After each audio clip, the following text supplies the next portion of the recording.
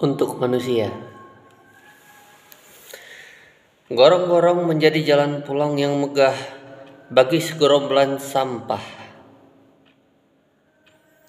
Mendobrak hukum tanah, mengabaikan hukum air.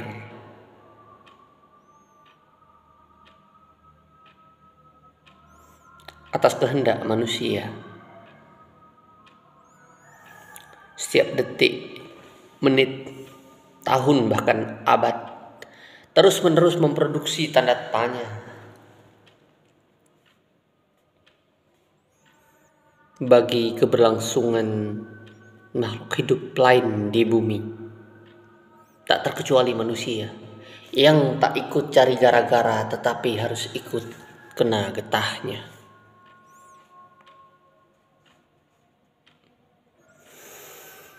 Gorong-gorong menjadi jalan pulang yang megah bagi segerombolan sampah.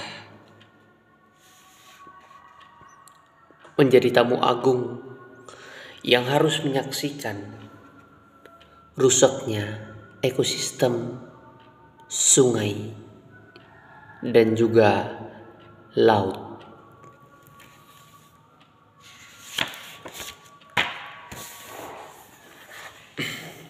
Sajak apel laut. Lagi-lagi petani apel laut apes. Apel laut yang dia tanam di rubung ulat sehingga jatuh ke dasar laut sebelum matang sempurna dan bisa dijual untuk dibelikan bir, rokok, dan sedikit susu buat anak bungsunya. Petani apel laut murung.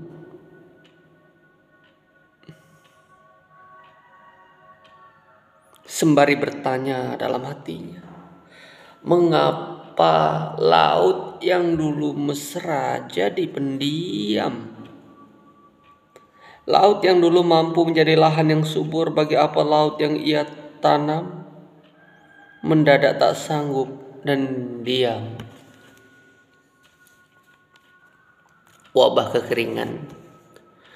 Wabah kekeringan tengah melanda, sebut seorang bapak parubaya yang bertubuh kurus, bermata hitam kecoklatan dan bersuara parau. Kepada istrinya, kepada satu-satunya istrinya, di waktu malam hari menjelang, waktu di mana kampung mulai padam. Istrinya tak banyak menganggapi, istrinya tak banyak menanggapi hanya menimpali sedikit sekali. Kekeringan apa? Kekeringan akal, kekeringan kepedulian, kekeringan rasa syukur terhadap air dan tanah yang menghidupi kita semua. Sama sekali tak berpikir untuk menjaganya apalagi memperbaikinya. Sama sekali tak berpikir untuk memperbaikinya, apalagi menjaganya. Malah yang ada dicemari, dicemari, dicemari dengan sampah plastik dan puntung rokok. Tidak di darat, tidak di laut, sama saja. Wabah kekeringan tengah melanda.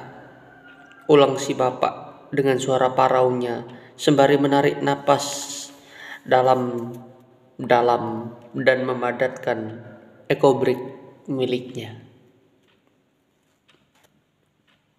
Maafkan aku, bumiku sayang. Puisi ini, catatan ini saya tulis sore kemarin saya habis mungut dan wabah kekeringan ini yang barusan.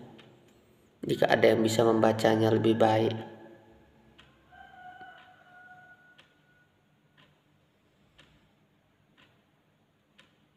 Silahkan bacakan ulang. Terima kasih